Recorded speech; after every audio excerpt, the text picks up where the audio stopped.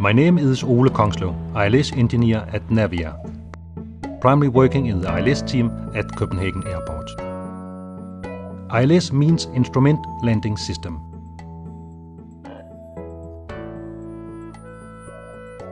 The ILS system is a set of electronic systems which can be received by the instrument in the aircraft.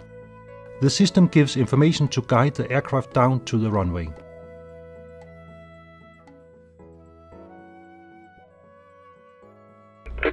Vi holder på Charlie og gerne krydse bane 22 left i LS 377.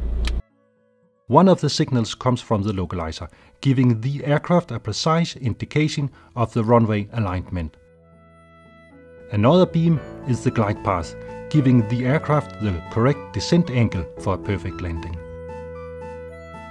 Pilots also have the option of making a visual landing if they get permission from the tower but most pilots choose to use the ILS system, especially if they are not familiar with Copenhagen Airport or if the weather conditions are poor with low visibility.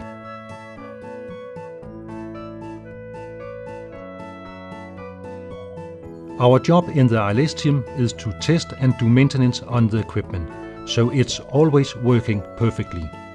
Our system gives the pilot a fully automatic landing solution with the highest level of safety possible.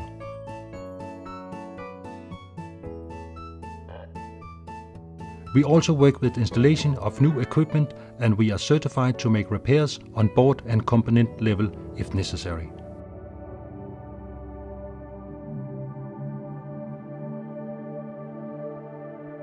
To work on the ILS system, we need to pass a number of demanding courses and tests. On a daily basis, we are a team of four working on the ILS equipment at Copenhagen Airport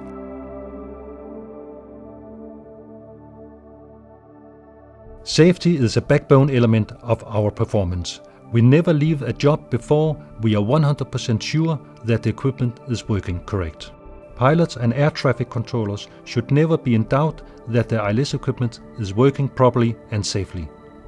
Safety is our top priority.